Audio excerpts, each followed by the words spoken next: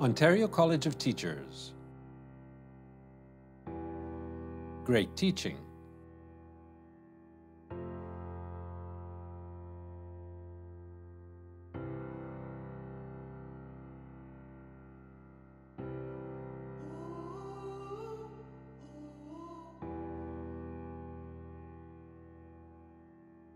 There's something probably really comforting uh, about choosing teaching because you spend your whole childhood in that environment, in that school environment. And to become a teacher is like that full circle.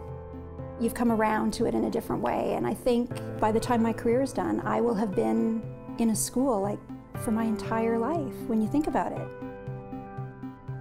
The uncertainty now for me is what motivates me. I like that starting a unit and not really knowing how it's going to go because there's nothing I love more than that chance to reinvent something, to look at curriculum and think, how am I going to be able to get kids to connect to this?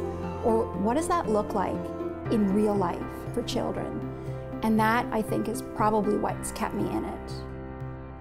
Publishing materials are great and you can buy units, but the bottom line is, is the people who have written those materials they don't know these children. So for me, what I feel my job is, is I'm like the interpreter between what a publisher thinks a grade four student should do and what my students are actually able to do.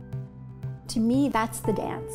That's the teaching where you're trying to take something and make it so that all kids can access it and be successful.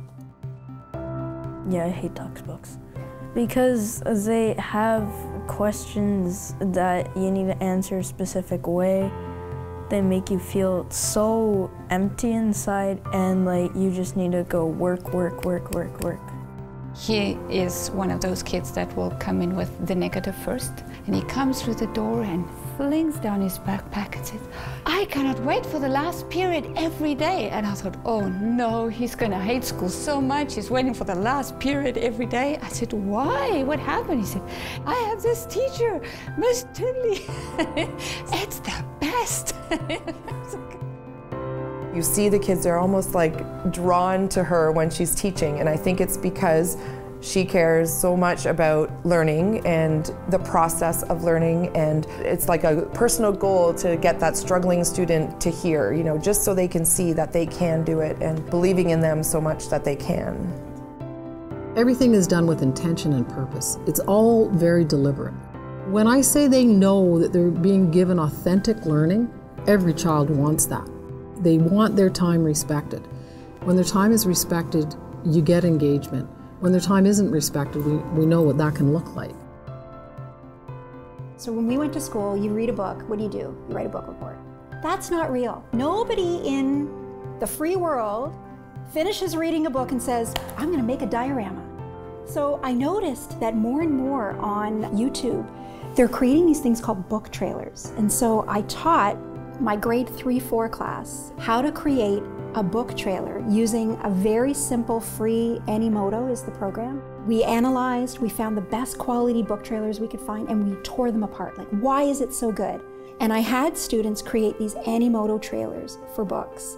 And I remember going home and thinking, okay, you know, like what are these gonna be? You pull them up, you know. And the first one comes up and it was for this book, The Boy Who Harnessed the Wind. And it was stunning. I remember tearing up and thinking, nobody's gonna believe that eight-year-olds made this. And then I'm thinking, well, you know, that's, we got lucky. Pull the next one up. They were all spectacular.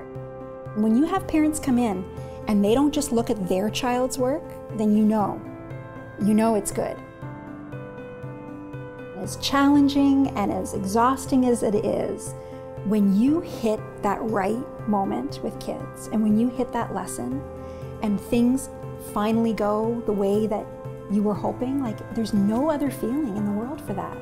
To know you've had an impact in somebody's life that may possibly change them. I mean, I know for me, I had a teacher and he was differentiating back in the 80s before we thought differentiating was cool. I mean, he knew. He made it his mission to find things that you would be interested in reading and then talk to you about it not just give you a worksheet and, and, and take your answers home and maybe give you a score, but like to really talk to you about it. So to have a teacher that knows you so well, I think that's what I, you know, I want that. I want to be able to to do for others what he did for me.